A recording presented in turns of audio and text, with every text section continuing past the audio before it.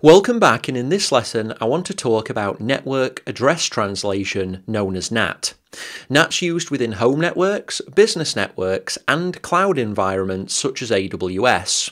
If you have a thorough understanding of NAT and how it works, it will make using any type of networking, including AWS, so much easier.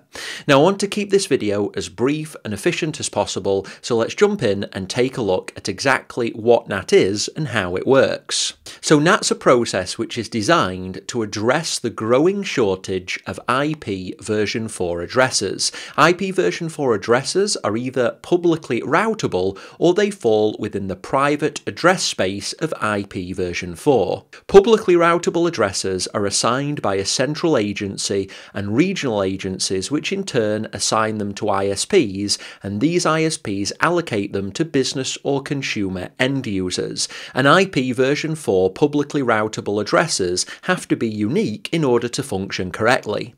Private addresses, such as those in the 10.0.0.0 range, can be used in multiple places but can't be routed over the internet. And so, to give internet access to private devices, we need to use network address translation. In addition to this, NAT also provides some additional security benefits, which I'll be covering soon. Now, there are actually multiple types of NAT which I'm going to cover, and all of them they translate private IP addresses into public IP addresses so that packets can flow over the public internet and then translate back in reverse so that internet based hosts can communicate back with these private services. So that's the high level function of NAT, but each type of NAT handles this process differently. First, we've got static NAT, which is where you have a network of private IP version 4 addresses and can allocate a public IP version 4 address to individual private IP addresses. So the static NAT device translates from one specific private address to one specific public address, in effect giving that private address access to the public internet in both directions. And this is how the internet gateway within AWS works, which I'll be covering in another video. Static NAT is what you would use when certain specific private IP addresses need access to the internet using a public IP and where these IPs need to be consistent. Dynamic NAT is similar, but there isn't this static allocation. Instead, you have a pool of public IP addresses to use, and these are allocated as needed, so when private IP addresses attempt to use the internet for something. This method of NAT is generally used when you have a large number of private IP addresses and want them all to have internet access via public IPs, but when you have less public IP addresses than private IP addresses, and you want to be efficient with how they're used. Then lastly, we have port address translation, and this is where many private addresses are translated onto a single public address. This is likely what your home internet router does. You might have many devices, so laptops, computers, tablets, phones, and all of those will use port address translation, also known as overloading, to use a single public IP address. Now this method, as the name suggests, uses ports to help identify individual devices, and I'll cover in detail how this method works later in this video. This is actually the method that the NAT gateway or NAT instances use within AWS. So if you do have any AWS experience, then you'll recognize this process when I'm talking about the NAT gateway and NAT instances in a separate video. Now NAT as a process only makes sense for IP version 4. Since IP version 6 adds so many more addresses, we don't need any form of private addressing, and as such, we don't need translation. So try and remember this one, IP version 6 generally means you don't need any form of network address translation. Okay, so now I want to step through each of the different methods graphically so you can understand how they work. And I'm going to be starting with static network address translation or static NAT. To illustrate this, we're going to use a visual example, so let's start with a router and NAT gateway in the middle, and a private network on the left, and then a public network on the right. We have a situation where we have two devices in the private network, a server and a laptop, and both of these need access to external services. And let's use the example of Netflix and the CAT API. So the devices on the left, they are private, and this means they have addresses in the IP version 4 private address space. In this case, 10.0.0.10 for the server toward the top and 10.0.0.42 for the laptop toward the bottom. Now this means that for these two devices, packets that they generate cannot be routed over the public internet because they only have private addressing. Now the CAT API and Netflix both have public IP addresses. In the case of the CAT API, this is 1.3.3.7. So the problem we have with this architecture is that the private addresses can't be routed over the public internet because they're private only. The public addresses of the public internet-based services can't directly communicate with these private addresses because public and private addresses can't communicate over the public internet. What we need is to translate the private addresses that these devices have on the left to public IP addresses which can communicate with the service services on the right and vice versa. Now with static NAT, the router or NAT device maintains what's known as a NAT table.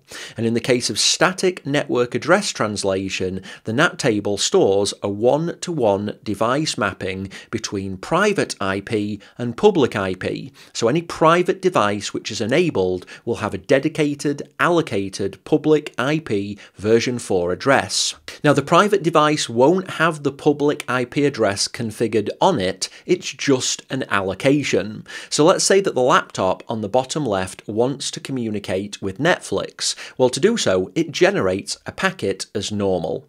The source IP of the packet is the laptop's private IP address, and the destination IP of the packet is one of Netflix's IPs. And let's say for this example, we get this using DNS. Now the router in the middle is the default gateway for any destinations, so any IP packets which are destined for anything but the local network are sent to this router. Let's assume that we've allocated a public IP address to this laptop of 52.95.36.67. So there's an entry in the NAT table containing 10.0.0.42, which is the private address, and 52.95.36.67, which is the public address, and these are statically mapped to one another.